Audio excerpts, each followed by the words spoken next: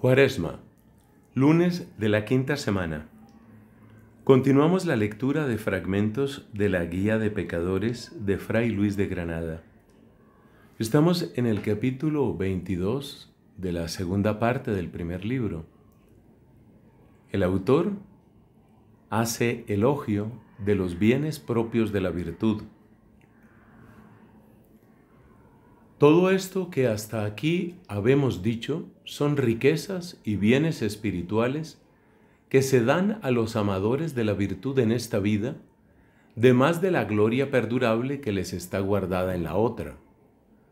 los cuales todos se prometieron al mundo en la venida de Cristo, según que todas las escrituras proféticas testifican, por lo cual se llama con razón Salvador del mundo, porque por Él se nos da la verdadera salud, que es la gracia, y la sabiduría, y la paz, y la victoria y señorío de nuestras pasiones, y las consolaciones del Espíritu Santo, y las riquezas de la esperanza, y finalmente todos los bienes que se requieren para alcanzar aquella salud, de la cual dijo el profeta, Israel fue hecho salvo en el Señor con salud eterna. Mas si alguno hubiere tan de carne que tenga más puestos los ojos en los bienes de carne que en los del espíritu, como hacían los judíos, no quiero que por esto nos desavengamos, porque aquí le daremos mucho mejor despacho de lo que él pueda desear. Si no, dime, ¿qué quiso significar el sabio cuando hablando de la verdadera sabiduría en que está la perfección de la virtud dijo, la longura de días está en su diestra y en su siniestra riquezas y gloria. De manera que ella tiene en sus manos estos dos linajes de bienes con que convida a los hombres, en la una, bienes eternos, y en la otra, temporales. No pienses que mata a Dios a los suyos de hambre, ni que sea tan desproveído, que dando de comer a las hormigas y gusanos de la tierra, deje ayunos a los que día y noche le sirven en su casa. Y si no quieres creer a mí, lee todo el capítulo sexto de San Mateo y verás las prendas y la seguridad que allí se te da sobre esto. Mirad, dice el Salvador, las aves del cielo que no siembran, ni cogen, ni encierran, ni hacen provisión para adelante, y vuestro Padre que está en los cielos tiene cuidado de proveerlas. Pues, ¿No sois vosotros de más precio que ellas? Finalmente, después de estas palabras, concluye el Salvador diciendo,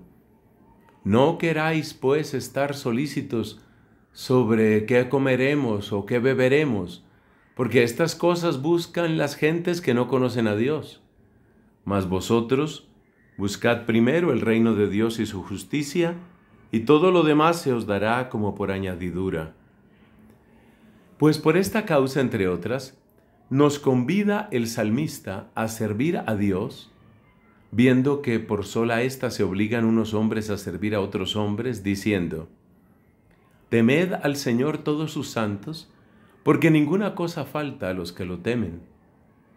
Los ricos de este mundo padecerán necesidad y hambre, mas a los que buscan al Señor nunca fallecerá, nunca faltará todo bien. Y es esto una cosa tan cierta que el mismo profeta añade en otro salmo diciendo, Mozo fui y ahora soy viejo, y nunca hasta hoy vi al justo desamparado ni a sus hijos buscar pan. Y si quieres más por extenso ver el recaudo que los buenos tienen en esta parte, oye lo que Dios promete en el Deuteronomio a los guardadores de su ley diciendo, si oyeres la voz del Señor tu Dios y guardares sus mandamientos, hacerte a Él más alto que todas las gentes que moran sobre la haz de la tierra, y vendrán sobre ti todas estas bendiciones. Hasta aquí son palabras de Dios por su profeta. Pues dime ahora, ¿qué indias, qué tesoros se pueden comparar con estas bendiciones? Y puesto caso que estas promesas más se dieron al pueblo de los judíos que al de los cristianos, porque este segundo promete Dios por Ezequiel que enriquecerá con otros mayores bienes, que son bienes de gracia y gloria, Pero todavía, así como en aquella ley carnal no dejaba Dios de dar bienes espirituales a los buenos judíos, así, en esta espiritual, no deja de dar también sus prosperidades temporales a los buenos cristianos, sino que las prosperidades dáselas con dos grandes ventajas que no conocen los malos. La una, que, como médico prudentísimo, se las da en aquella medida que pide su necesidad, para que de tal manera les sustenten que no los envanezcan, lo cual no hacen los malos, pues abarcan todo cuanto pueden, sin mirar que no es menor el daño que la demasía de los bienes temporales hace en las ánimas